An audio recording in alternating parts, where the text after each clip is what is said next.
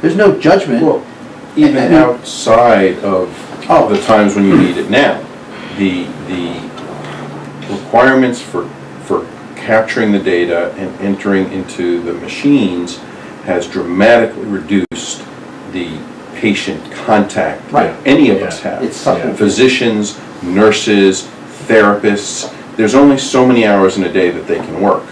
Okay? And it used to be where you could spend most of those hours interacting with your patient, getting to know them, getting to see the subtle things that make a great physician, therapist, whatever, great.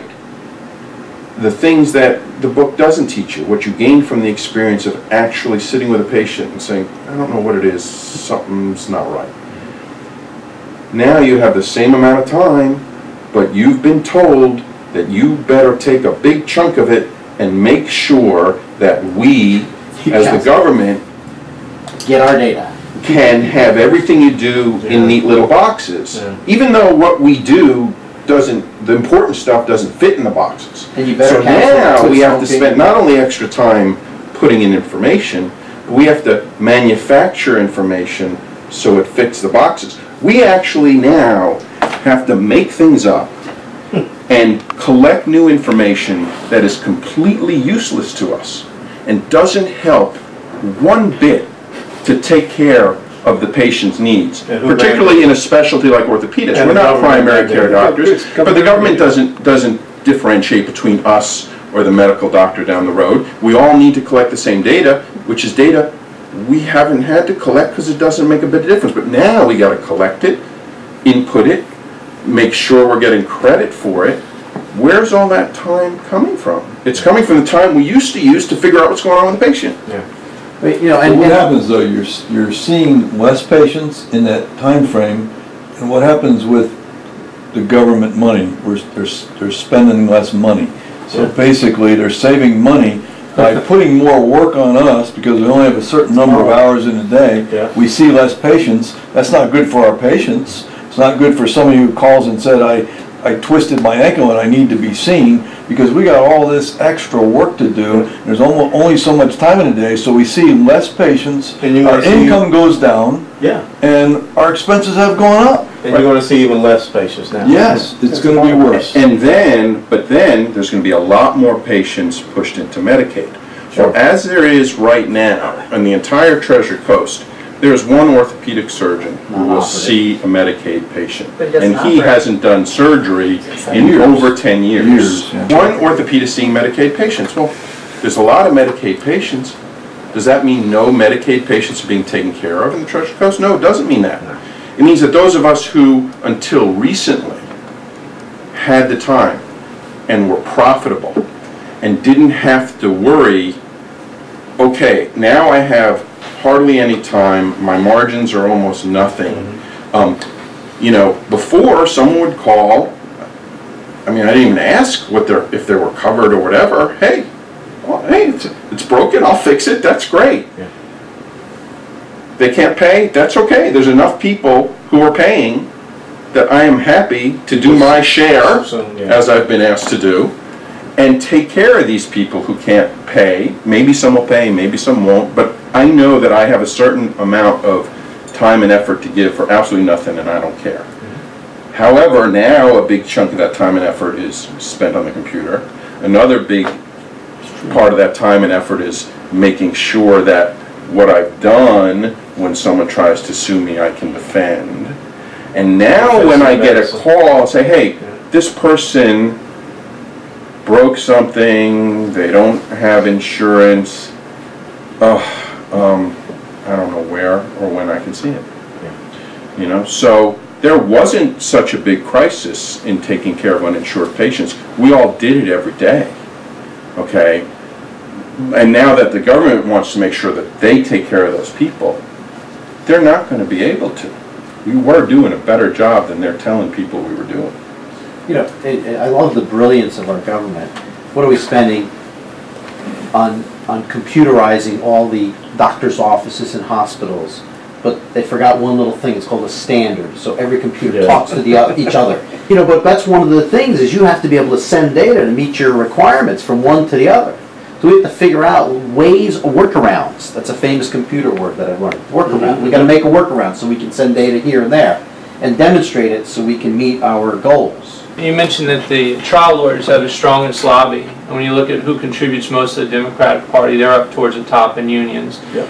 And so much legislation goes their way. Absolutely. And you're, obviously, we have a lot of complaints, but I'd say your average person thinks doctors are rich and lucky. Just kind of, you know what I mean? I would say a lot of people think that. So when we're complaining about these things, I'm just saying that the general perception is, you know, you guys want, But, that's but why. that's why your voice has to get out there, Well- because I think that if it really is the, the, the doctors versus the trial lawyers, I think that the people will decide that they will side with the doctors, but your voice is not being heard. Well, strategically, my observation has been, we got a lot of complaints, but we're not very well organized. So my observation that the message out there is we're rich and fine. That, I'm just saying in general. Mhm. But there's not a real strong lobby. up- and When you look at the top contributors, there's The number no, one, no physician lobby contributing to, you know, for, and I'm just curious what, from a strategic standpoint, what would be the best way for us to get our voice out there for And- very real concerns. And that's exactly what, what I just talked about here. You got a great opportunity, you're gonna be on a conservative website pretty soon tonight. Now, regionally, I mean, that's the next level, or the operational level, the, the middle level. At the statewide basis, you know, how do you come together and let your voice be heard and start to pool your resources? Then strategically, at the, at the national level, you know, the national uh, orthopedic surgeons, or you have to start bringing together your specialty industry or, you know, the prac- practicing doctors uh, as a whole. It's not so much about, you know, the, the money that you contribute, but the, the, the voice that is being heard. You know, when was the last time, truly, that doctors got together on the East Capitol steps? You know, someone in the, in the medical profession should right now be planning doctors being on the East Capitol steps. What? Code Pink does it. You know, we talk about taking taxpayer money away from Planned Parenthood. Boy, let me tell you what. Within f- 36 hours, you got all the Code Pink up there and all with their, their pink hats and pink this, and they're there. You talk about the unions, and they're there. So, I mean, we've got to get better with that type of grassroots activity that starts at the tactical But level. we're too operating. But that's because, we're- that's because we're too busy working, and that's the problem. Yeah, yeah, but, but Is that- this, but this is my point. The legal point. system has But time. this I is mean, my they're, point. they're, they're. This is my point. They put Some, point, why they some, do? somehow, some way, you gotta find one day. This is a, uh, a, a very interesting maxim that I learned when I had my three-year change assignment with the Marines. I had a first sergeant tell me that if you ever find yourself in a fair fight, it's all because your tactics suck. Okay, you're not in a fair fight. Now, if you wanna continue to say, I'm too busy, whatever, then you're gonna lose. If you can't find that twenty-four to forty-eight hours where you pull together and make your voice be heard up in Washington DC, then you're, you're gonna get the short end on, on the stick. You know, you're talking about very good issues that the American people don't know. Tell your story. I guarantee you people here in St. Lucie County, don't- in Treasure Coast, they don't know the story that you're telling me right here, right now. Actually, a lot of the patients, you know, I tell, I speak to a lot of them. I know we all do, and I know, but, but, you know, it really comes down to the fact that this has nothing to do about the quality of healthcare, you know, which is pretty, pretty much near and dear to all of our hearts. It has everything to do with the takeover and really heading towards socialism. So, um, you know, And, just, and you're right, you, you know, Dodd-Frank, the government now controls the financial sector, automobile sector. You know, healthcare law, they got you all. You know, cap and trade, if cap and trade had gone through the legislative process, that's the energy sector. But instead, they just turn over to the regulatory side, and the EPA is going nuts. The uh, Employee Free Choice Act, card check, you know, the unions, they couldn't get it through the regulatory process. Now they turn to the National Labor Relations Board, and look at the things that they're doing. This is what is happening in our country. And, and unless we have people that let that, your voice has got to be heard. You just do. And, and so the people hear that and start saying, this is a local doctor saying, this is not a good thing. And there'll be patients of yours that are out there that'll say, that's my doctor. I want to talk to him about this a little more. And you will have patients that say, you know, don't, you know Dr. Powers, right? Well, do you agree with him? Absolutely. And so now you get the discussion going on in this local community. But if you just sit here and, and, you know, I'm gonna, you know, use an expression, just kind of bitch and moan about it, okay? And I'm not, you know, no offense. He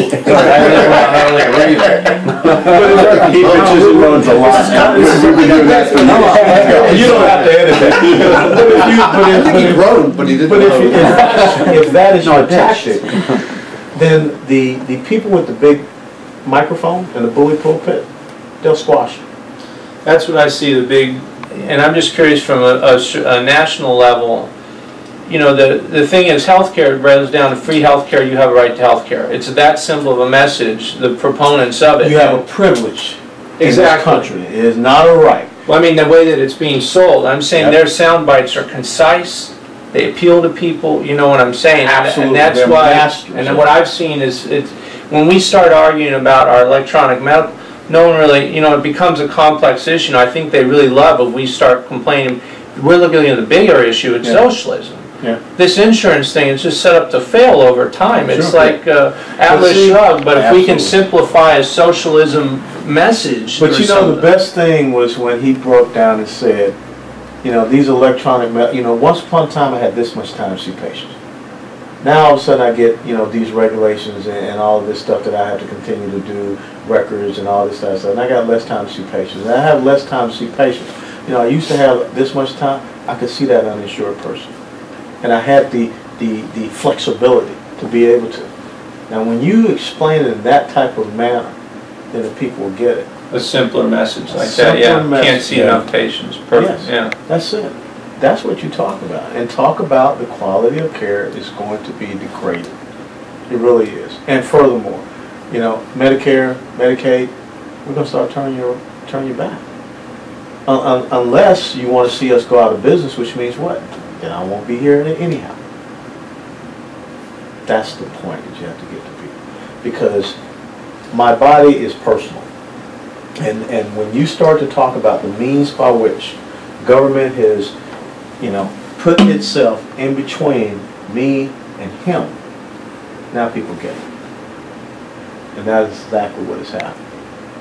You know, there is a, there's a filter that is now between the doctor-patient relationship that, you know, is, is an obstacle to me being able to have quality health care that I want. And then we also have to talk about how do we incentivize. So you're now practicing the defensive medicine.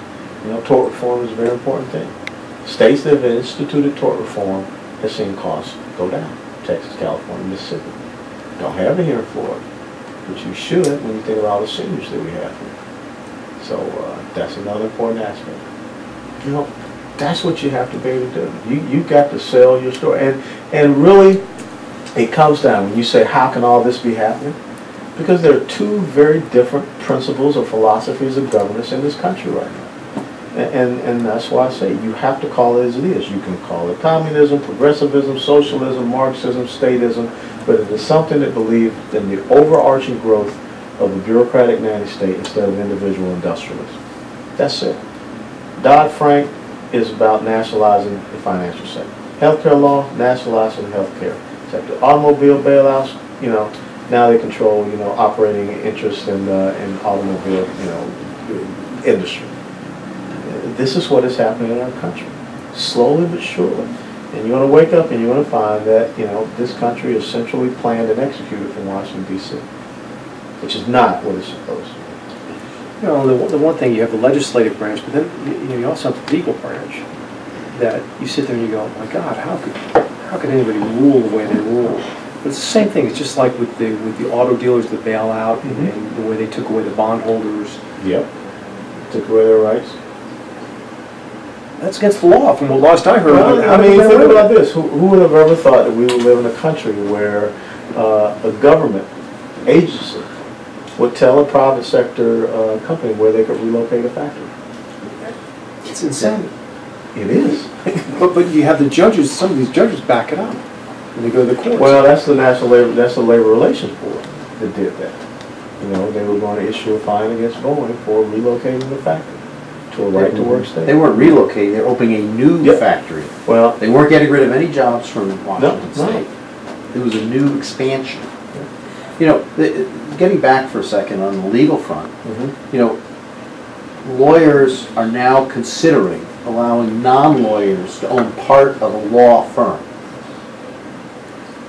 It blows my mind that they say lawyers should own law firms, and nobody else should own or control lawyers because it affects the client-lawyer relationship, and it could adversely affect that. And once you impose, I'm working for the boss here, then my incentive for my client might change. It's no longer honorable. I might do something for my client to please the boss. Yet for physicians, they are pushing physicians to work for the boss at the hospital. Mm-hmm. And the boss at the hospital, you know what? That's great, that's great. You know, you referred this patient to that doctor there because you like him a lot. But you know what? We don't employ him. You know, that physician, you might have better results, but you know what? You need to go here because he uses our facility. He uses our therapy unit. He uses our x-ray machine. Mm-hmm. And so the decision-making process for that physician has now been altered. Mm-hmm. That same very important doctor-patient relationship that is so sacred to the lawyers mm-hmm. Has been absolutely thrown on the, under the bus for the physicians. And it, it just boggles my mind how we have this discussion, you know, it was in the news, what, a couple months ago, how lawyers are considering allowing them, because essentially they've had partners that are accountants that own a part of the firm, and this and that. They're gonna try and allow it to happen, but we've destroyed the patient-doctor sacred relationship in this country. We're letting it just go right down the tube. I know when you're an employee, I mean, I have friends that are employees for hospitals. And, you know, they're on time frames. They're, they're told where to refer to. Now that the computers, they track everything. And they Yeah, walk in that's at the end of the day and say, you know, uh, we have to improve over here. And, You know, and they don't come out and say, you can't refer to Dr. X. You can't refer to Dr. Sharkey here because we employ an ears, nose, and throat doctor over there. Um, They can't come out and say that per se, but once the door's closed. Well, let me This tell you, conversation here. You know what speaking saying? of, That is the simple message. That You talk about a simple message? That's something everybody knows when that door's shut. Oh, You know, yeah. People, you basically Well- confess their sins. There's the simple message that should get out. The doctor-patient relationship Is, is being crushed. Is gonna, is gonna be There's a basically computer eliminated. between you. It's gonna be eliminated, the computer You're- between you, but also these, these, these government agencies that are in this bill mm-hmm. that are basically Oh, yeah. gonna tell us how to treat patients. Absolutely. I Oh, they just are. recently spoke to a, a specialty physician who's on staff at a hospital that he isn't employed by. Apparently their computer system, when the physician requests a consultation, They're- they're- it doesn't list every doctor on staff. It, it, you, you put in a specialist, and only the hospital employed specialists come up as a That's right, choice yeah. to choose for a consultant. That's right. Yeah. I know that. I was part of that problem. I had to call and get my name put on. And that's the system that our hospital is gonna be going to Of within the next two years. Of course. And every orthopedic patient there that they can do will be sent to their employed orthopedic physicians in Fort Pierce. And, and And physicians that's will have to go around the system just to be able to refer to the physicians they want to if they're not employed by. Which violates the free market principle of competition. Not to mention, Violates uh, not to mention uh, the best interest of the best interest of the patient. They don't patient have and to- You know, we're, we're all, we're all about green, except when we have to send the patient an extra thirty miles each way to go get a test by a covered facility. You know, so what if it costs the patient, you know, an extra two hours in traffic and an extra twenty bucks in gas? Mm-hmm. And an extra, you know, how many tons of carbon dioxide we put out this world? But heaven forbid they go get an MRI on the same day they see Dr. Powers. Yeah. It's crazy. It's crazy.